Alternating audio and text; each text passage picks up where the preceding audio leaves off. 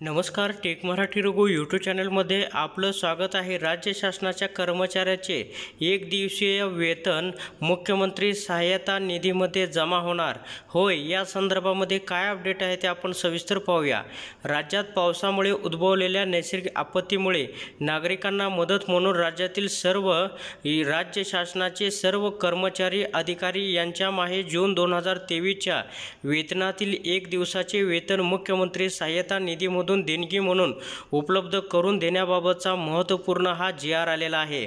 म्हणजे अवकाळी पाऊस आणि गारपीटमुळं नुकसान झालेल्या शेतकऱ्यांना किंवा नागरिकांना मदत देण्यासाठी राज्य शासनाचे अधिकारी यांचे एक दिवसाचे वेतन मुख्यमंत्री सहाय्यतामध्ये जमा होणार आणि तेथून शेतकऱ्यांना किंवा नागरिकांना मिळणार.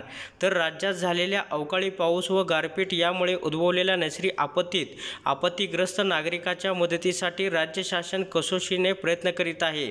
अशा परिस्थितीत महासंघाशी संलग्न सर्व विभागातील अधिकारी देखील कर्तव्य भावनेने एक दिवसाचा पगार या मदत कार्यासाठी मुख्यमंत्री सहाय्यता निधीमध्ये जमा करण्यास इच्छुक असल्यास महाराष्ट्र राज्य राजपत्रित अधिकारी महासंघाने दिनांक एकोणीस एप्रिल दोन हजार तेवीस रोजीच्या पत्रानवे शासनाला कळवले आहे. राज्य शासनाच्या वतीने सुरू असलेल्या सदर मदत कार्यासाठी मुख्यमंत्री सहाय्यता निधीतून अधिक रक्कम देता यावी.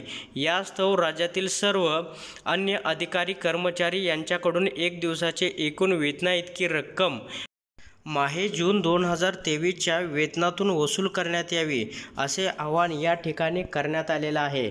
तर अशा प्रकारे आता राज्यातील शेतकऱ्यांना आणि नागरिकांना मोठा या ठिकाणी दिलासासुद्धा मिळणार आहे. अशा प्रकारच्या महत्त्वाच्या अपडेट जाणून घेण्यासाठी आताच आपल्या टेक मराठी रघु यूट्यूब चॅनलला सबस्क्राईब व शेअर करा.